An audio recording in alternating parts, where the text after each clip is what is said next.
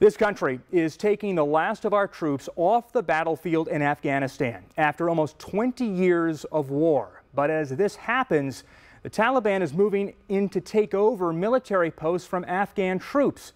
It's a major test for the Afghan government and its security forces as they try to hold their ground. NBC's Richard Engel has the latest tonight from Kabul.